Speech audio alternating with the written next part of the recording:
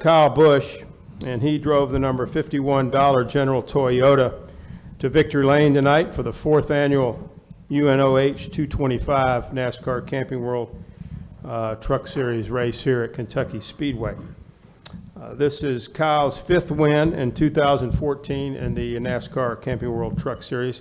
Milestone 40th victory tonight in the uh, NASCAR Camping World Truck Series. And Toyota continues to uh, impress, thank you very much, impress uh, across the, uh, across the sport. This is its 10th straight win in the NASCAR Camping World Truck Series, dating back to Erik Jones's win at Phoenix last November. And this is the longest active streak, um, active win streak by any manufacturer in the NASCAR Camping World Truck Series. So continued congratulations to uh, Toyota and Kyle and Eric Phillips, crew chief. And then finally, Kyle had a perfect driver rating of 150.0, which is uh, about, it's as good as you can get when you're running a race. So congratulations, Kyle. Talk about running here at Kentucky Speedway. Certainly a place that, uh, that you've uh, come to, to master across all three national series and, and just, you know, talk about how you're, how you're performing in the Camping World Truck Series this year. It's, it's uh, nothing short of uh, dominant.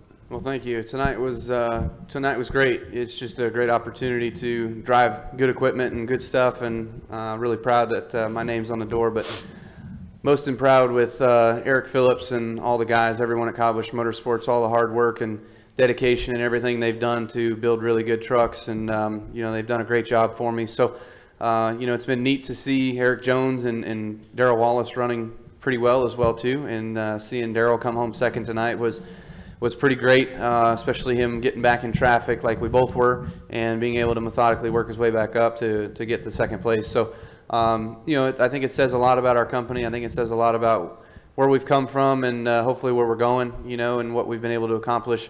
Not only last season with Erik Jones win at, at Phoenix, but then again this year with Bubba being able to win St. Louis and Eric having some strong runs as well too. So, um, you know, tonight was just another one of those nights. Love coming to Kentucky Speedway. It's been a good track for me over the years, and um, you know 9:30 didn't strike again tonight uh, like it has in the past couple years. So uh, you know that was good. Eric made some good changes to the truck and and kept up with the racetrack all night. So um, you know all I had to do was do my part. Eric Phillips, just talk about what it's like to be able to know when you get to a racetrack, unload an excellent piece of equipment, know you have one of the finest, if not the finest driver uh, that's, that's ever raced in this series, and, and quite possibly, obviously, one of the best drivers in the, in the sport right now, driving that piece of equipment once you get it off the race, uh, off, the, off the truck.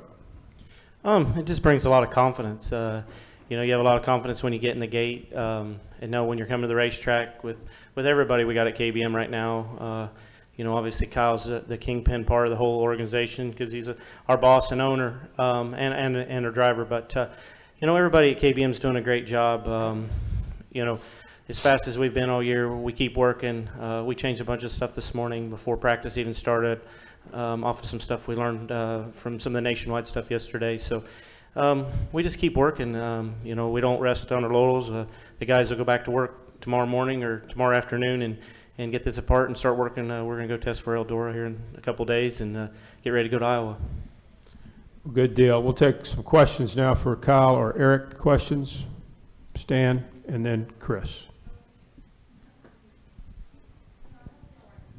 Stan Creekmore with RPMTonight.com. Kyle, was there anything that you learned today in, in all in everything that you were doing th- that that made you able to handle the bumps that everybody talks about here better than you have in the past or, or, Um, yeah, I mean, there's certainly things that you get an opportunity to learn every chance you make laps around here. So, uh, essentially tonight, I really tried to just hone in on um, what the biggest issues I was fighting. Whether the issue was really small, I just kind of tried to hone in on those. And um, entry to turn three being loose, especially in traffic, is a big issue.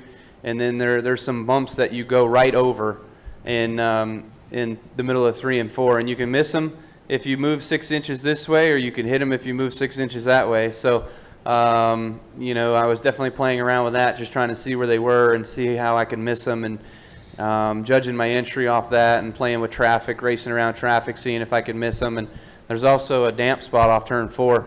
Um, you know, there's a weeper over there that just weeps all day, all night, you know, the whole time. So you got to be conscious of that as well too. So uh, those things are just the opportunities that I get to go out there and, and hone in on and fine tune with in order to get my nationwide car set up right, in order to get over those pieces of racetrack better. And same thing with my cup car.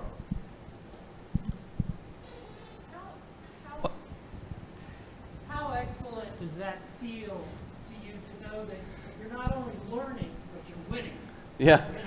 Yeah, I, I think it's it's always beneficial. I mean, I've always said I like being able to get out there and race than just sit on the motorhome and watch, or sit in the motorhome and watch. You know, so um, it also helps too when you know my nationwide car. We had a test day here yesterday, and we struggled really bad.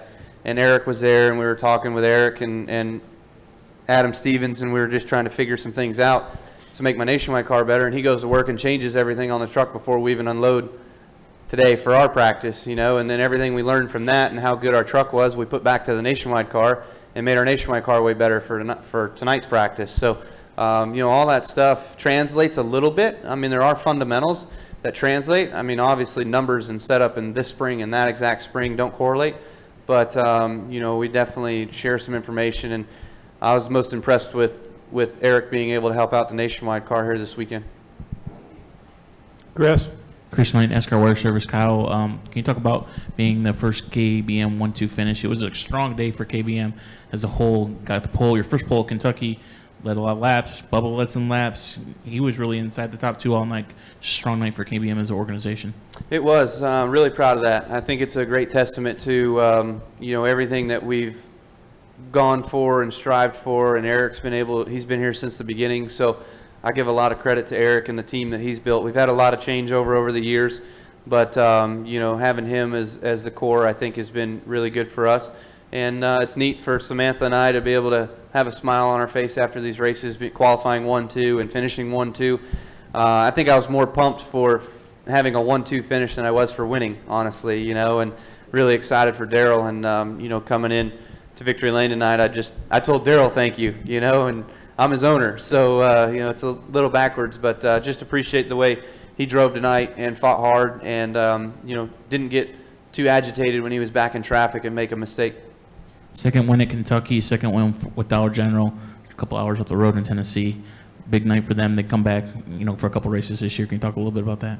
Yeah, Dollar General has been a huge supporter of ours since the beginning. Uh, Rick Dreiling and Laura Rutledge and Todd Vasos, all the guys over there that do such a great job helping us out and putting this program together. And it, it wouldn't be possible without M&M support. Um, you know, M&M's is a, is a part of it as well too, and that's why they're on the tailgate. So uh, it's just special to um, continue on the relationship that we have over the years with Dollar General, and um, you know, to have M&M's help that as well too. Obviously, they they try to help us succeed at KBM as much as possible, so it's been good.